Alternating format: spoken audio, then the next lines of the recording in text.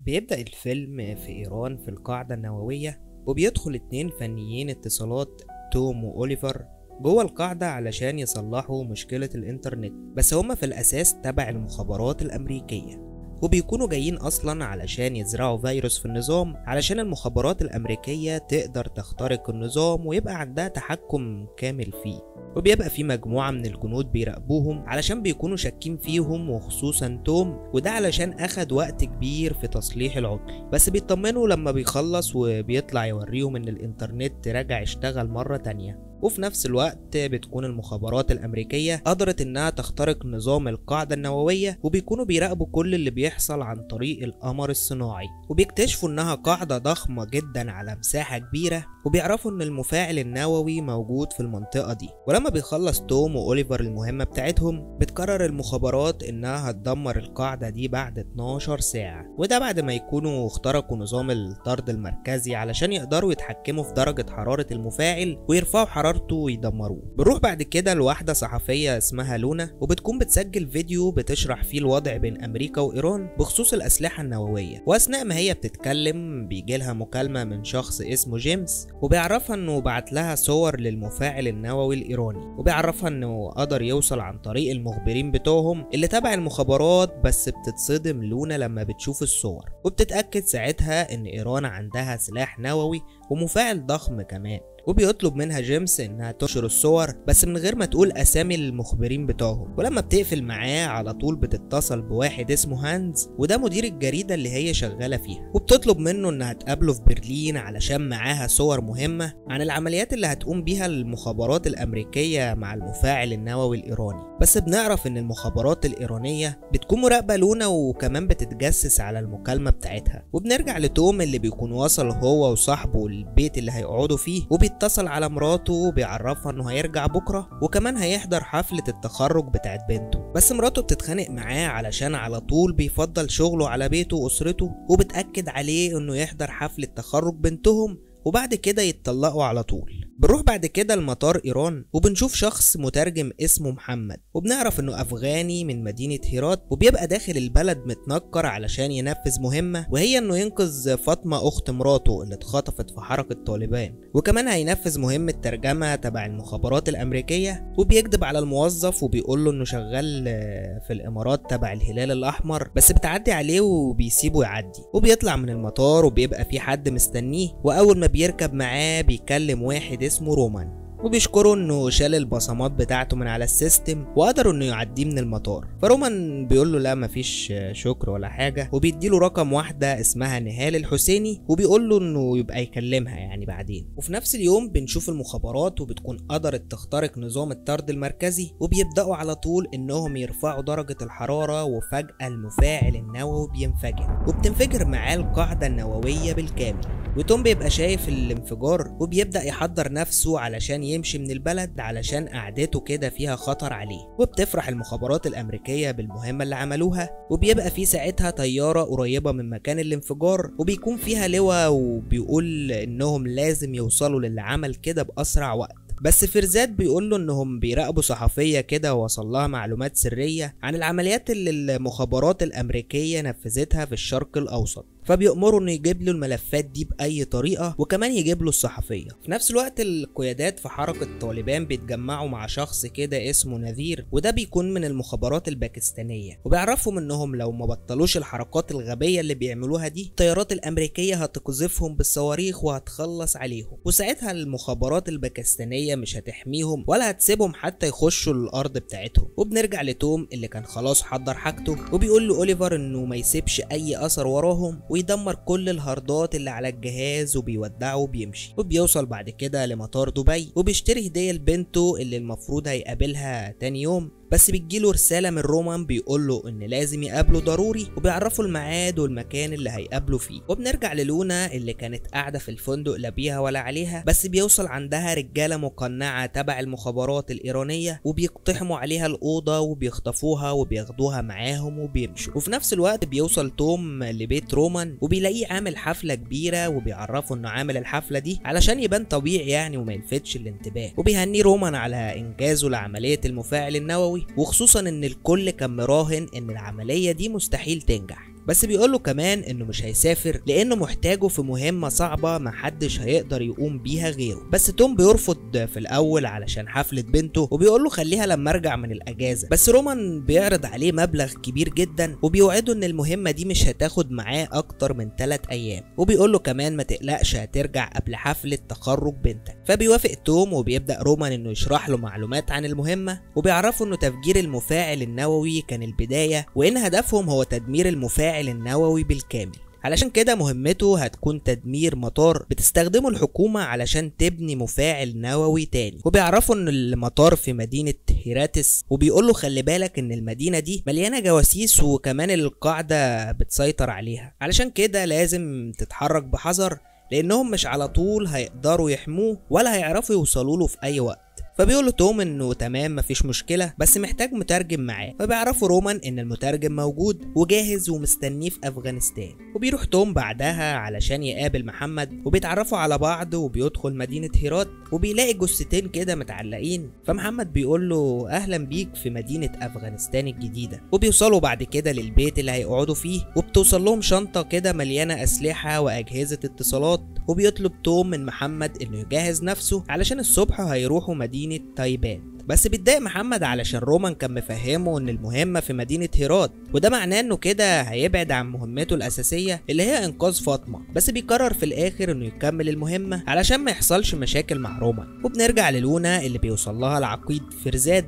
علشان يحقق معاها وبيسألها عن المعلومات اللي وصلتها بخصوص المفاعل النووي وبيهددها إنه هيخلص على بنتها لو ما اتكلمتش دلوقتي. فبتعرفوا إن هي ما تعرفش حاجة غير الصور اللي وصلت لها. بس في شركة اتصالات كده اسمها سيبليكس هي اللي ساعدت المخابرات في تفجير المفاعل. ساعتها فرزاد مش بيبقى مصدق إن دي كل المعلومات اللي تعرفها بس بيسيبها وبيمشي. وبنرجع لمحمد اللي بيروح يقابل نهال اللي بتعرفه إن طالبان لسه بيدوروا عليهم بس هو بيقول لها إن فاطمة اختفت هنا وهو وعدها إنه هيدور عليها. وبيسألها لو عرفت أي جديد عن فاطمة بس هي بتقول له إنها من ساعة ما اختفت ومحدش يعرف عنها أي حاجة. وبيروح تاني يوم الصبح للمقابر علشان يزور قبر ابنه وبنعرف إن طالبان هم اللي قتلوه ساعة لما هاجموا على المدينة. علشان كده محمد مش بيطيقهم وبيوافق على أي مهمة ضدهم. بعدها بتحصل مشكلة كبيرة للمخابرات الأمريكية وده لما المخابرات الإيرانية قدرت إنها تخترق البنتاجون وسربوا معلومات سرية عن العمليات اللي المخابرات الأمريكية نفذوها في الفترة الأخيرة. اللي بيكون من ضمن المهمات دي عملية تفجير المفاعل النووي الإيراني وبنكتشف كمان إنهم قدروا يعرفوا هوية توم وأوليفر. وساعتها رومان بيتصل على توم وبيعرفوا إنه اتكشف ولازم يسيب المدينة ويلغي العملية فورا وبيطلب منه يسافر على مدينة كندهار وهناك هيلاقي مجموعة من القوات الجوية مستنياه هيسافر معاهم. ولما توم بيسأله عن أوليفر بيقول له إن للأسف المخابرات الإيرانية قدروا يوصلوا له وخلصوا عليه وكمان أخدوا كل الحاجات اللي عنده. في نفس الوقت بيعرف فرزاد إن توم موجود لسه في المدينة وبتجيله كمان صورة ليه علشان يقدر يتعرف عليه. على طول بيبلغ رئيسه بشار وبيقول له إنه عاوزه سليم علشان يسلمه للمركز الأعلى. في نفس الوقت كان رئيس المخابرات الباكستانية كان بيراقب تليفون فرزاد وإن هما كمان بيدوروا على توم وبيتصل على حكيم وبيقول له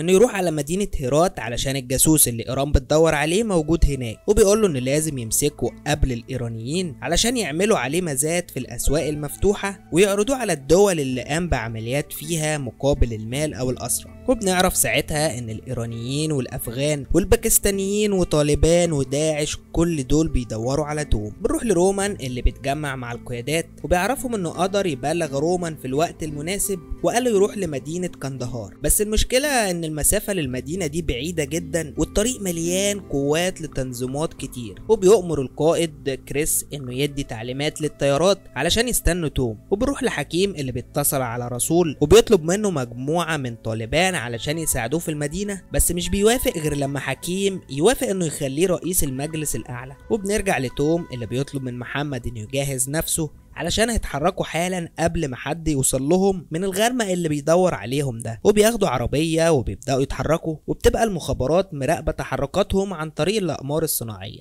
وبيدخل ساعتها السوق وبيقرر إنه يغير العربية علشان اللي بيدوروا عليه ياخدوش بالهم منه. وفي الناحية التانية بيتحرك فرزاد هو كمان. وتوم كان دخل السوق وسرق عربية تانية علشان محدش يشوفه بس للأسف بسبب اللي عمله. كل الناس اللي بتطارده بتلاحظ وجوده وبيتحرك تنظيم داعش والمخابرات الإيرانية وراه علشان يقبضوا عليه. بس للأسف الطريق كان زحمة فبينزل فرزاد هو ورجالته علشان يمسكوهم. بس لما توم بياخد باله بيطلع على الرصيف وبيجري بسرعة من المكان اللي هو فيه بس بيشوفه حكيم وبيطارده هو كمان. بس في عربية من اللي تبع فرزاد بتعترض طريقهم بس توم بيعدي من وراها بسرعة وبيكمل طريقه. وعلشان حكيم يعطلهم شوية بيزرع قنبلة كده في عربية من عربيات فرزاد وبتنفجر العربية باللي فيها. وبيقدر توم إنه يخرج من السوق وبيطلع على الطريق السريع بس بتقابله عربية تبع طالبان. وبيضربوا عليه نار بس بيخبط العربية بتاعتهم وبيقدر يجري منهم. وبيبلغوا ساعتها حكيم بمكان توم فبيلف بسرعة وبيرجع لهم. بس توم وهو بيجري الكاوتش بتاع العربية بيتخرم فبينزلوا بسرعة وتوم بيقول لمحمد يغير الكاوتش وهو هيراقب المكان من حواليهم بس محمد كان جاب آخره وبيعرفه إنه جه هنا لمدينة هيرات علشان ينقذ فاطمة أخت مراته وإنه مش هيمشي منها إلا لما يلاقيها وبيسيبه وبيمشي. بس توم ساعتها بيلاحظ إن في حد مستخبي بعيد فبيضرب طلقة كده علشان يخوفه بس بيطلع عيل صغير وبيرمي حاجة من إيده وبيجري. ولما توم بيروح علشان يشوف إيه اللي العيل رماه ده بيكتشف إنها قنبلة مزروعة في الأرض وبيفجرها. وبيتكلم مع محمد وبيعرفه إن هو اللي فجر المفاعل النووي علشان كده كل الناس دي بتجري وراه وبيقول له إنهم لازم يبقوا مع بعض. علشان محدش هيساعدهم وبيقول له كمان إنهم لازم يوصلوا لمدينة كندهار وساعتها هيساعده انه يلاقي أخت مراته اللي بيدور عليها. وبيبعت توم بعديها رسالة لرومان وبيعرفوا إنه هيعدي على مدينة ديلارم فعلى طول بيقرر رومان انه يروح يساعد توم ويخرجه من الورطة اللي هو فيها. وبيكمل توم طريقه في الصحراء لحد ما بيجي الليل بس بيتفاجئ بطيارة هليكوبتر ماشية جنبهم وبيكون فيها فرزاد ورجالته. وساعتها بيبدأوا يضربوا عليه نار بس هو كمان بيرد عليهم ضرب النار لحد ما بيقدر إنه يسيب واحد منهم. وبيقف بالعربية ويقول لمحمد إنه يستخبى وبيكمل ضرب نار عليهم وبيبقى في اتنين بيقربوا منه. بس توم كان معاه نضارة رؤية ليلية فبيقدر إنه يحدد مكانهم بسهولة وبيخلص عليهم هما الاتنين. ومش بيبقى فاضل غير الطيارة اللي بدأت تلف فوقيه وبتضرب عليه نار بس بيقف مكانه ومش بيجري وأول ما الطيارة بتقرب منه بيرمي تحتيها قنبلة وبيفضل يضرب عليها نار لحد ما بيقدر إنه يفجر الطيارة. وبعدها بيقعدوا هما الاتنين يريحوا شوية ومحمد بيصلي ولما بيخلص بيتكلموا مع بعض وبيقول له توم إن السوار اللي معاه ده بتاع المترجم السابق اللي كان معاه اللي حاول ساعتها إنه يخرجه على أمريكا أو لندن بس للأسف داعش وصلوا له الأول وعدموه وبيفضلوا يتكلموا شوية كده عن حياتهم. في نفس الوقت بينزل رومان من الطيارة الخاصة وبيجي له ضابط بريطاني كانوا زارعينه وسط تنظيم داعش وبيسلموا على بعض وبعد كده بياخدوا بعض وبيمشوا. وتاني يوم الصبح بيوصل حكيم للمكان اللي كان كانوا فيه بس مش بيلاقي غير الطيارة اللي متفجرة وبيعرف إن المهمة دي صعبة غير ما كان متخيل. بعد كده بيوصل توم ومحمد للجماعة اللي تبع صاحبه اللي قال رومان عليه وبنعرف إن صاحب توم اسمه إسماعيل وإنه قائد تنظيم جماعة اسمهم الطاجيك. وأول ما بيوصلوا توم بيخلي محمد يعرفهم إنهم تبع إسماعيل علشان ما يقتلوهمش وبياخدوهم معاهم في العربية وبيبقى محمد متضايق انهم هيطلبوا مساعدة من الإرهابيين دول.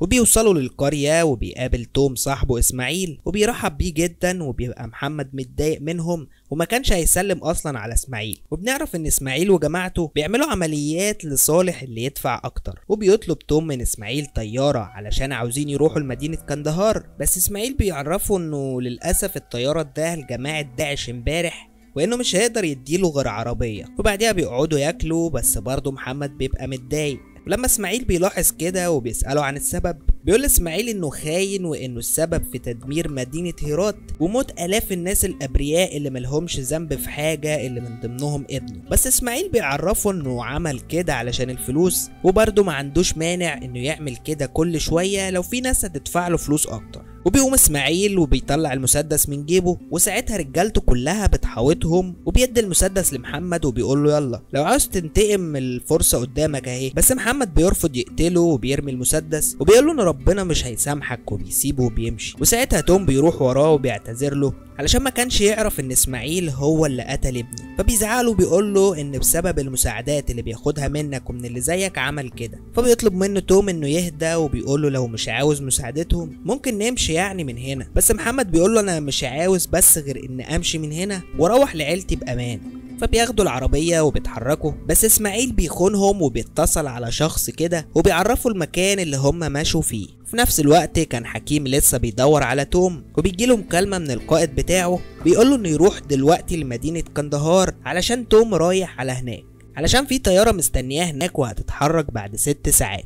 فبيطمنوا حكيم وبيعرفوا إنه هيقبض عليه ويجيبه له لحد عنده. وبيطلب منه بس إنه يساعده إنه يسافر بعد المهمة دي علشان تعب من الشغل في الصحراء. وبيقفل معاه وبيتصل على رسول علشان يبلغه على مكان توم ويبعت حد علشان يقبض عليه اللي كان ساعتها في طريقه لمدينة كندهار. بس بيتفاجئوا بمجموعة من العربيات تبع طالبان بتحوطهم من كل مكان وبيقدروا إنهم يقبضوا عليهم وياخدوهم للقرية بتاعتهم. وبيربطوا توم وبيتوصوا بمحمد شوية على الآخر علشان هو أفغاني زيهم وبالنسبة لهم خاين. بس فجأة بتوصل قوات داعش اللي هم في الحقيقة مش تبع داعش وهنعرف دلوقتي. وبيبدأوا الهجوم عليهم وبتقوم بينهم معركة قوية جدا بيموت فيها عدد كبير من الجنود.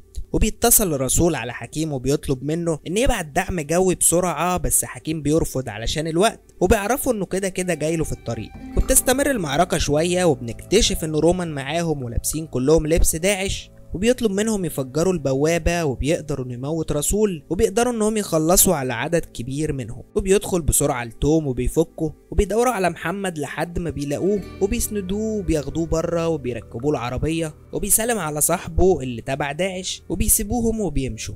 وبيبدأوا يتحركوا علشان يوصلوا للمطار اللي فيه القوات مستنياهم هناك. بس بيشوفهم حكيم وهم ماشيين.